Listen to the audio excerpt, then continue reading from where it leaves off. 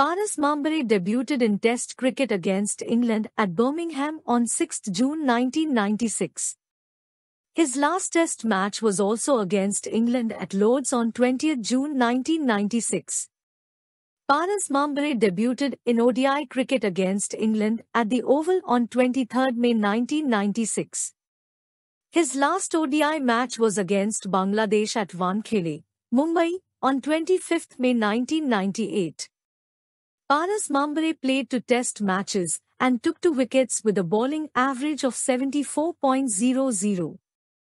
As a fielder he took one catch. Paras Mhambrey played three ODI matches and took three wickets with a bowling average of 40.00. His best bowling of 2 for 69 on his debut against England at the Oval in 1996 doesn't help at all as the match was abandoned due to rain.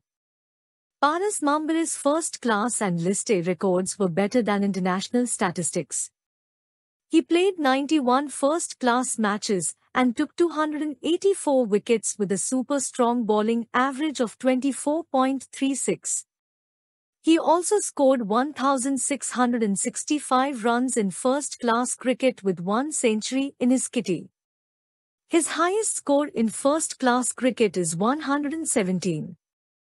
In List A, he played 83 matches and took 111 wickets with a glorious bowling average of 25.48.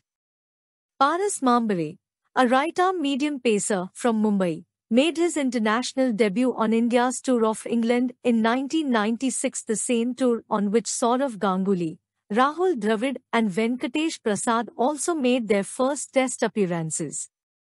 However, he was unable to make the sort of impact made by the other three and his two tests and two one-days on that tour were followed by a sole ODI against Bangladesh in 1998. His domestic record was far more impressive.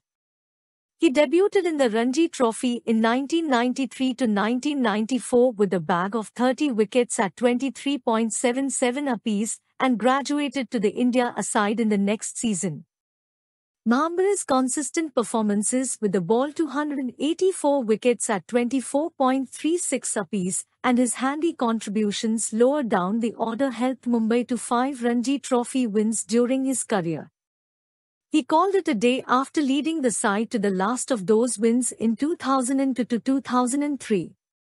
Mhambrey then went on to complete his Level 3 coaching diploma from the National Cricket Academy. After two seasons coaching Maharashtra he took charge of Bengal, whom he led to the Ranji finals in each of his two seasons. He was appointed India coach for the home series against South Africa in September 2007.